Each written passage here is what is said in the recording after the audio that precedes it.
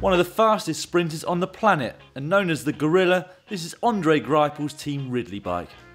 The Ridley frame model is Noah Fast, size small. It has an integrated seat post, on top of which his San Marco Regal saddle is perched.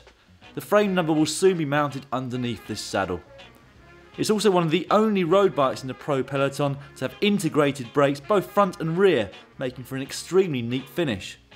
Greipel uses Campagnolo's Bora Ultra 2 wheelset for sprint stages with Continental Force and Attack tubular tyres. These tyres have Andre's initials on them, so nobody else is going to get their hands on them. The wheelset includes Cult Technology, which stands for Ceramic Ultimate Level Technology.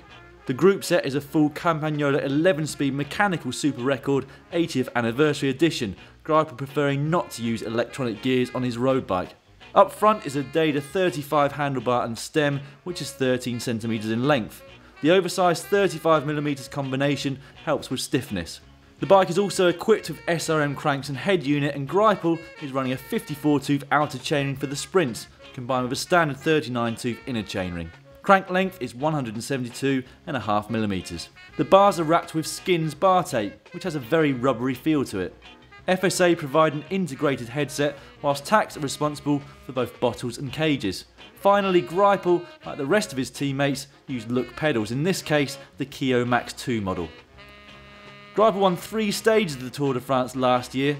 How many do you think he can win this year? Let us know below. And for more bike porn videos, stay tuned to the Global Cycling Network.